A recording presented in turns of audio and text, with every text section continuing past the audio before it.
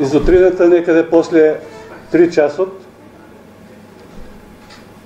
еден од нашите подштабови во трета местна организација беше демолиран, имам докази, слики за тоа, беше и полицијата на лице место. Најпрво се надевам дека полицијата што побрзо ќе ги открие сторителите на тоа дело и ќе има правда за тоа што го сториле.